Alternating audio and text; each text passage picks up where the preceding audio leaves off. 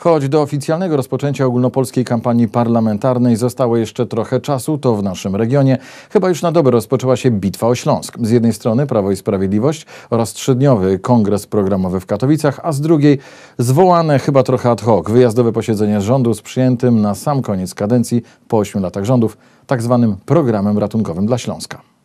Trzeba przyznać, że Prawo i Sprawiedliwość rozpoczęło od wielkiego C. Sześć miesięcy przygotowań, Centrum Kongresowe w Katowicach, liderzy PiS oraz Zjednoczonej Prawicy, pełne trzy dni obrad i dyskusji, pół setki paneli poświęconych niemal każdej sferze gospodarczej i społecznej Polski, prowadzonych przez blisko ćwierć tysiąca ekspertów. My w przeciwieństwie do Platformy Obywatelskiej program przedstawiamy przed przejęciem władzy, a nie po przejęciu, a nie po zakończeniu swojej misji, bo Platforma najprawdopodobniej już nie będzie rządziła, natomiast dzisiaj słyszymy, że przedstawia program dla Polski. Zainteresowanie naszym regionem nie jest przypadkowe. To właśnie na Śląsku znajduje się najprawdopodobniej klucz do zwycięstwa w wyborach parlamentarnych. Trudno się więc dziwić, że kilka tygodni temu Platforma organizuje nadzwyczajne posiedzenie rządu i przysłowiowym rzutem na taśmę przyjmuje program Śląsk 2.0, robiąc to na kilkanaście dni przed zapowiadaną już od miesięcy konwencją programową PiS. Przypomnienie sobie po 8 latach rządzenia o tym, że jest taki kawał e, Polski, który się nazywa Górny Śląsk, jest dosyć e, może nie komicznym, ale tragikomicznym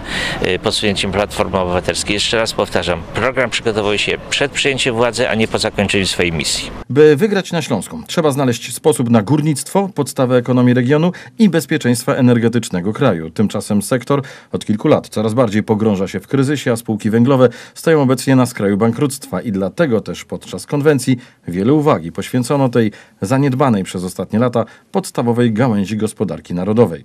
W panelu poświęconym energetyce i górnictwu nasz region reprezentował Adam Wieczorek, prezes Stowarzyszenia Budownictwa Górniczego, zrzeszającego 30 firm górniczych, w których pracują tysiące górników. Te osoby mogą na, na Śląsku stracić y, pracę. Mamy informacje ze spółek górniczych, że będą ograniczenia inwestycji, y, ograniczenia zatrudnienia i tym samym właśnie to są te miejsca pracy. Zdaniem Adama Wieczorka, prezesa Stowarzyszenia Budownictwa Górniczego, przygotowany przez obecny rząd program restrukturyzacji górnictwa w istocie jest programem, który może doprowadzić do likwidacji branży. Program y, opiera się na oszczędnościach, brak inwestycji, tym samym zatrzymanie produkcji, tym samym y, utrata miejsc pracy.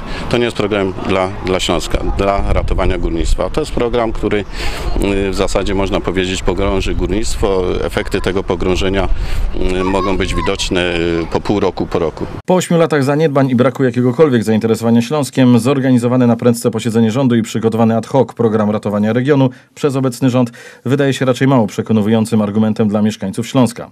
Pytanie, czy zatem PiS jest szansą?